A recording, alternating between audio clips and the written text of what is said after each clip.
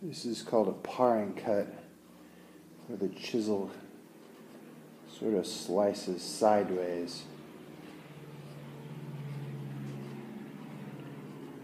This works good to clean up end grain with a real sharp chisel, or gouge, I should say, because this has a little cup to it.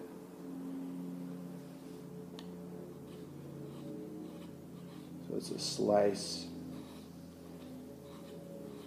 slicing action.